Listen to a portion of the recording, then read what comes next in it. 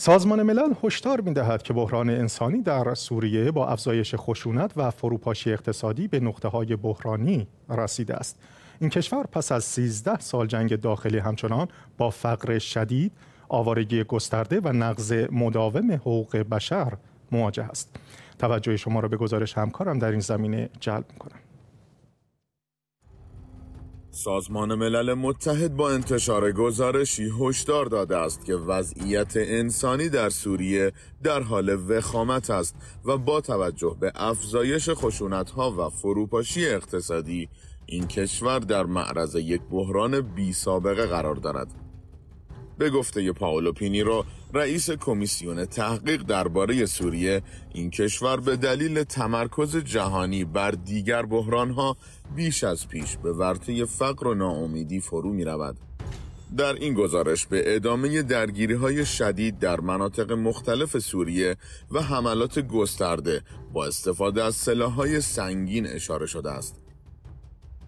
همچنین نیروهای دولتی و گروه های نظامی مختلف به نقض حقوق بشر از جمله بازداشت خودسرانه، شکنجه و ناپدیدسازی افراد ادامه می دهند.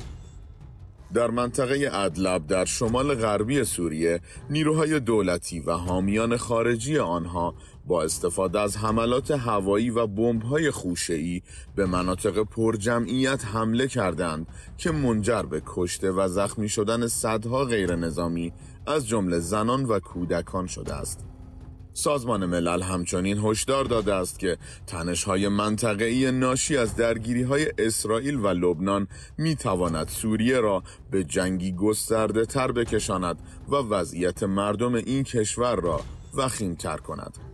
این در حالی است که نزدیک به سه چهارم مردم سوریه نیازمند کمک های بشر دوستانه هستند و 13 میلیون نفر با بحران شدید غذایی مواجهند.